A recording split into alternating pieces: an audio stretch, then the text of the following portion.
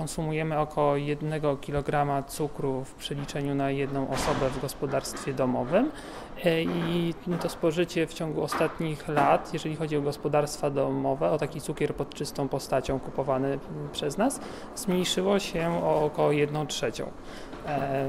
Najwięcej cukru pod czystą postacią kupują gospodarstwa domowe e, rolników oraz e, gospodarstwa domowe emerytów i rencistów. Pod czystą postacią cukru kupujemy coraz mniej, to jednak jego ogólny poziom spożycia e, w Polsce wzrasta.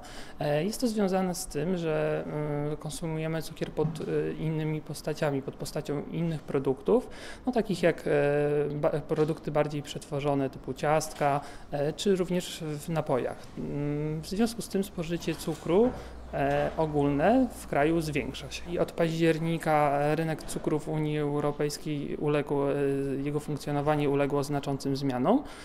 W związku z tym spodziewamy się, że w 2017 roku produkcja cukru w Unii Europejskiej znacząco się zwiększy.